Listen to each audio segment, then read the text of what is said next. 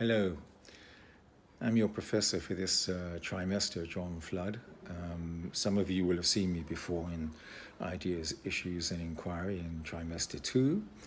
Um, some of you, I'm new.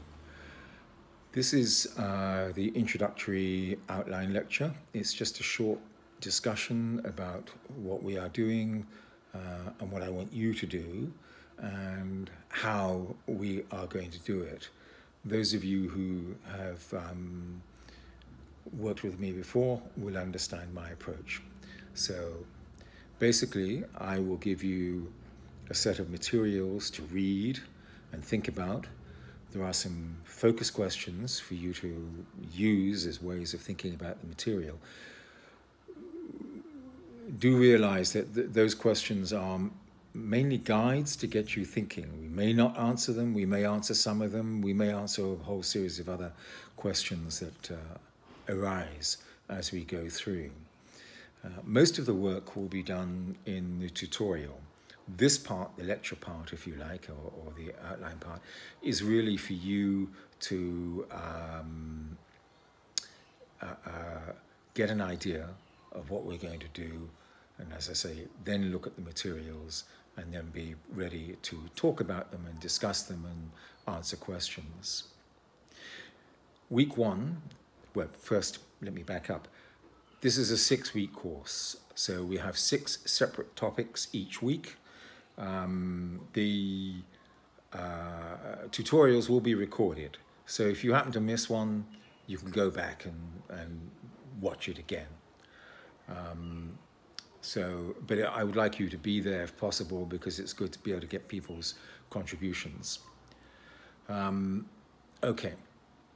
The assessment in the course is really quite straightforward. You're going to write a research paper, um, but it's going to be done in three phases. You're going to uh, come up with a topic and a brief outline uh, then which I will review and give back to you and uh, depending on um, what I say you can put it back in again uh, and as a revision. That's the only time you get a chance to revise anything. The second part is the outline of the paper, where you're going to go, some idea of the literature review, um, and so that you'll be ready then to go into the main body of the research paper, which is the final part of the assessment, which is the complete um, research paper, fully referenced, fully sourced, uh, as you would write any other kind of paper. So that's the assessment. The um, course, as I say, is uh, six topics. Week one is uh, the introduction, which I'm really looking at kind of the history and background of technology, the internet, um, and a whole series of things. And I'm starting in a slightly unusual way, which is I want you to read a short story by an Edwardian author, E.M. Forster. Uh, and the story is called The Machine Stops. Now, some of you may have read his other works, such as Room with a View Maurice, Room with a View was a, a big film, for example. But the main thing about The Machine Stops, as I say in the materials, is it was written in 1909. The word computer didn't exist in 1909. It's quite extraordinary, really, when you, when you think about this. And, and it's um, an amazing story, uh, and it's one that I keep coming back to uh, every time when I'm sort of thinking about what's going on in, in technology because in some ways Forster was remarkably prescient. He, he, he, for, he sort of forecast, foretold many of the things that we're experiencing now. Uh, uh, if you don't see uh, aspects of Facebook and various other things, uh, YouTube and what have you in there, I, I, I'd be astonished.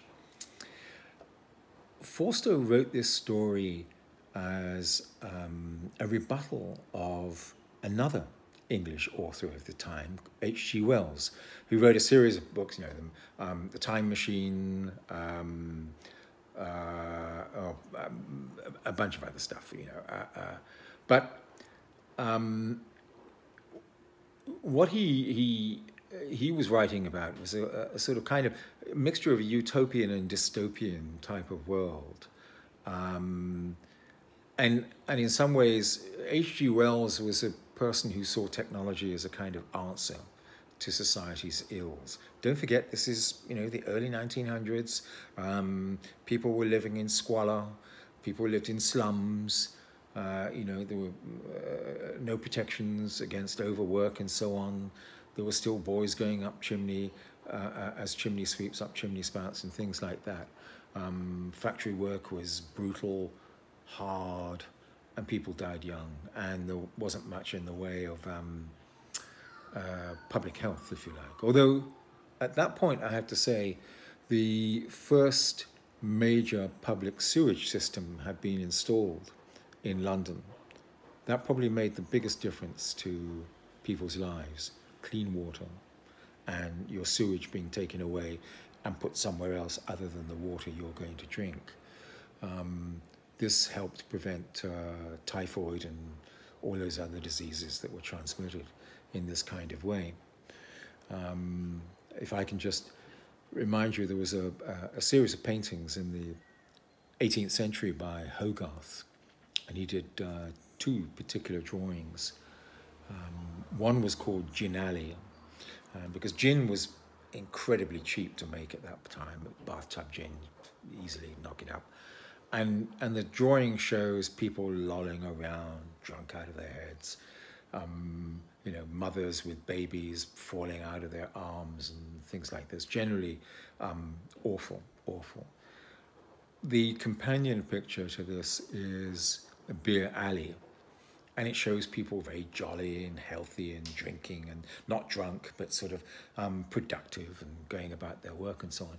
And the reason for these two pictures was again because in the 18th century um, there was no clean water. So actually people used to drink something they called small beer for breakfast.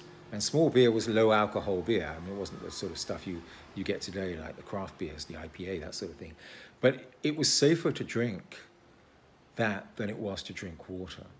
Um, so, you know, we move into the early 20th century, that kind of problem is gone, but still we have the problems about, you know, limited lifespans and all those sorts of things. It was also the time of um, transportation to Australia and so on, the convicts and things like that. So, anyway, I want you to start with that. I want you to think about it. I want you to reflect on it. Um, I've also put in a reference to a book published this year, which I haven't read yet, called Silence by Don DeLillo, an American author, which apparently takes some of the themes. So, um, we go through the history in some ways of the internet and technology in week one. Week two, um, I move into uh, artificial intelligence, machine learning, algorithms, and blockchain. And there's I hate to tell you this, but there are um, a lot, there's a lot of reading there. Now, just to calm you, the reading is often quite short. Most of it's out there on the internet. There are short pieces, there are blogs, um, there are some journal articles, but generally um, it may look a lot, but it's not. In a certain number of cases, I've given you reports I don't expect, you know, the report might be 100 pages long. I don't expect you to read the whole report. I expect you to skim through it. I expect you to get an idea of what it's about. And if it interests you, then please read it. And it, but it'll be a good source for your research paper when, when you come along. Week three, uh, we look at big data, privacy, Facebook, and other apps that scrape your data and use it in various ways. And I will focus on a particular scandal, some of which you know, the Cambridge Analytica Facebook scandal, which I think is very important and I think is a watershed in, in the way that we now think about um, what social media is doing. And so, really, this is a focus on social media, something which you're all familiar with, but perhaps not totally familiar with what goes on around social media, what you've been given access to, and what you are able to see, and so on. Week four is about health and automation. Can AI and these kinds of things help improve our health? Um, those of you who've got iPhones and other kinds of phones will know there's a health app on there. Uh, if you've got a uh, Apple Watch, which I don't, you know, it'll monitor how many steps you take and what your heart rate is and things like that. So um, the whole process of automation is becoming quite important in that way. Blockchain may be a very important part of this in terms of uh, dealing with um, how we distribute and give access to patient records and things like this. There are also questions about can we use the data that we generate as people and patients for health projects? Um, Google's DeepMind has been doing some work in this area, and it raises a whole series of ethical issues which we're going to have to deal with. Um, week five is government and technology. Government, of course, wants to automate as many services as possible. And Estonia, a small Baltic country uh, next to Sweden and Russia, um, is probably the most advanced country in the world in terms of using automation uh, as a way of running all its government services uh, and things like this. But whereas that's for the good, governments are also using um, these uh, autom automation processes for the bad. And you can think about you know, um, Netflix's Black Mirror, some of the episodes in there. But what I really want you to think about is, and I put some reading in here, is about how China is using social media, automation, artificial intelligence to monitor its citizens. You know, when you have a country of um, over one and a half billion people, um, keeping tabs on them all why you want to keep tabs on them all, I don't know. Well, you do because it's a centralized government, um, is hard. So you need ways of doing this. And so uh, automation steps in here and, and, and does this. Um, I think it's, um, I think we've got serious issues. Week six, which is the final week, um, is a slightly odd one, I think. But I'm going to be talking about brain hacking and transhumanism. And by this, I mean what happens when we start to modify our own brains, um, either through the use of uh, uh, electrical inputs or um, synthetic drug inputs and things like this, and that we begin to transform ourselves into kind of hybrid humans, if you like. Um, the Israeli historian uh, Yuval Harari, some of you may have read his book Sapiens, but he's written a book called uh, um, Homo Deus. The, the um, thesis of which is we are now in a post evolutionary stage. We don't need to wait for evolution to make us better. We can begin to design ourselves. So, what do we want to design? What are the limits on what we design? Should we be designing people? Already, we select gender for babies and so on, not always legally. Uh, we have techniques like CRISPR, where we can go in and cut out bits of the DNA uh, um, spiral and, and replace it with others. So we are at a point where we can begin to make humans what we want to make. So um, I hope you'll join me on this journey and I hope you enjoy it. And just to reinforce that the research paper is, is a way of allowing you to get into something in detail and I hope enjoy it. it I hope you do anyway. So see you um, before long. Bye.